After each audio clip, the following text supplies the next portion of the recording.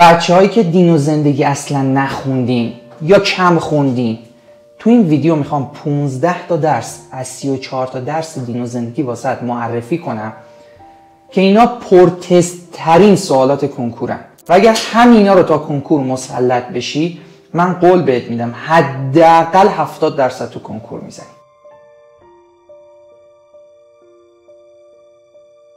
این سمت این سمت من این درس ها رو برات تو caption م نوشتم. description و caption برات نوشتم کامل توضیح دادم. اگرم پیداش نکردی تو کانال تلگرامی هم گذاشتمش. کانال تلگرامی هم آیدیش اینه dr اکبری underline کنکور. اینا رو بر اساس اهمیت از راست به چپ برات نوشتم. یعنی اینجا دین و زندگی دهم درس یازدهش پر اهمیت تر از سه و سه پر اهمیت تر از پنج پنج پر اهمیت تر از شیش و شیش پر اهمیت تر از هشت. از دهم پنج تا درس از یازدهم شیش تا درس و از دوازدهم چهار تا درس رو واسط مشخص کردم که جمعا 15 تا 15 تا درس. بعد یه سوال براتون پیش میاد که آقای اکبری من اینا رو چجور بخونم؟ ببین آزمون عمومی.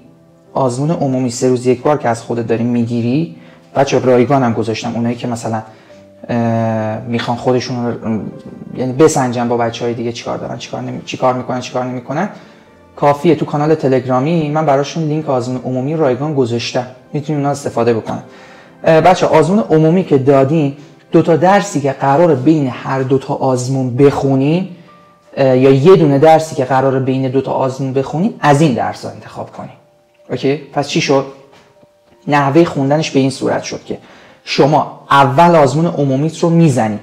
سرفصلایی که حالا غلط زدی یا سفید گذاشتی رو انتخاب می‌کنی. بعد تا آزمون عمومی بعدی یه دونه از اون درسایی که الان اینجا برات گذاشتم رو انتخاب می‌کنی و خوب خوب می‌گیری میخونیش. آیاتش رو حفظ می‌کنی مفاهیمش رو می‌خونی و مفاهیمی که مربوط به آیه هست کامل دیگه. کامل. تستاش هم می‌زنی خودت یه 80 تا 100 تایی.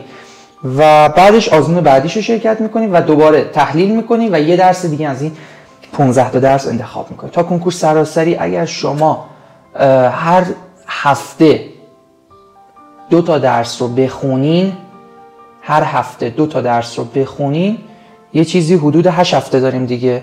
میگه میشه 16 تا درس رو می‌رسین کامل. اوکی؟ این هم از این. مواظبت کنین خودتون. این درس هم براتون نوشتم. می‌تونید حالا اسکرین شات هم بگیم اون لحظه که من داشتم بهتون می‌گفتم. همین. مواظبت کنین خودتون خیلی زیاد. فعلا.